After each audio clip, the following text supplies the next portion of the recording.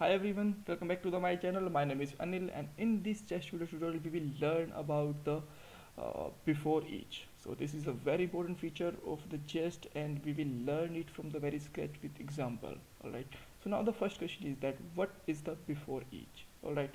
So sometime in that when you just write the test cases you need a function that should be run before every test case because your test cases are dependent on it right? Or you can say that this provide the initial value to your test case. So how you can just run these things all right? So now let's start with the example. So i'm just going to make the three files. One for let's say sum.js which is our normal functional file and sum dot test.js this is our test case file. And let's say we have one more file which should be run uh, its test cases or uh, this functionality should be run before your test cases. So let's say I'm just going to make the file name with the common.js alright? So just write a function with the sum and uh, it will just provide some return value like uh, 10 plus 10 it can be just also come from the parameter but we are just learning from for the before so we can just make it simple right? So now we can just uh, export it module dot export and and let's run the uh, export the sum function here right? So same thing we can do with the uh, common function so we can just write here some common.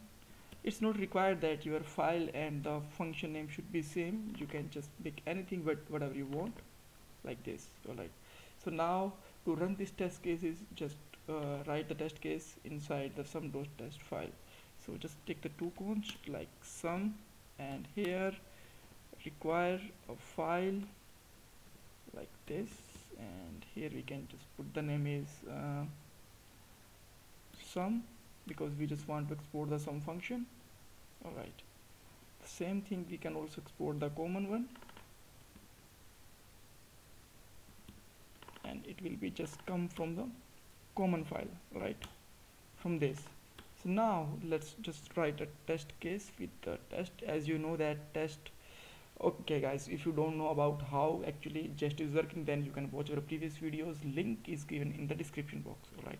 So just write here um, test function you have the two uh, two parameters. One is the string. So just write here uh, testing some function right? Something like that. And as you know in the second parameter this is a callback function. Just write here expect.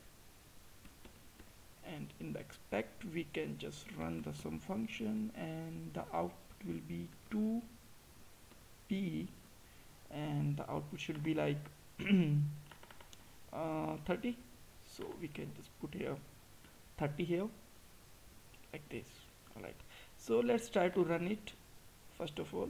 So whenever I'm just going to running it then this is passing. So let's say I just want to make some run some functionality before it so that I can just use the before each right and in the before each it will take a, a callback function. And here I can just console dot one common function. Right common. Okay this is a common function like this. And in this common function I can just make something like uh, initial data is here.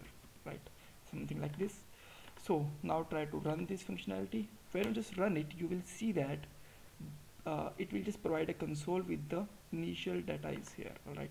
So is it really running before every function? So for the testing we can just make it some copy of this function like this and this alright?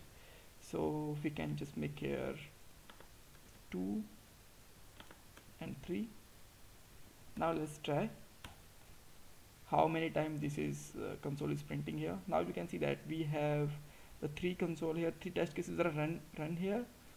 Function function 2 and function 3 and 3 uh, console are logged here all right so no, you can see that this is how it's actually working. So if you still any kind of uh, assistance you can ask me in the comment box. And thanks for watching this video. Bye bye take care